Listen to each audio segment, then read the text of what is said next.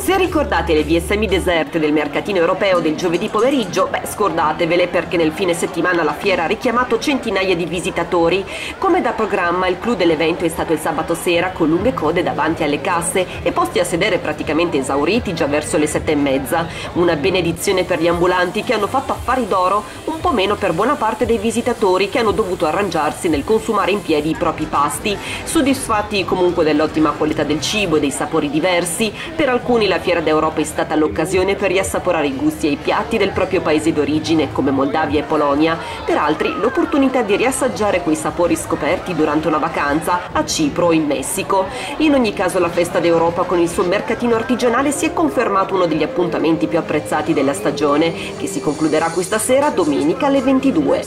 Buona anche la riuscita della Notte Green organizzata sempre sabato sera nel centro di Asti. Corso Alfieri e le vie del centro hanno visto il fluire di molti astigiani e visitatori.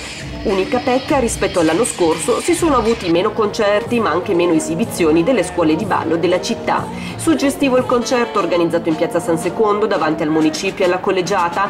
Le note hanno richiamato un pubblico numeroso e attento, mentre per le vie dello shopping qualche delusione c'è stata per la maggior parte delle attività chiuse. Davvero un peccato.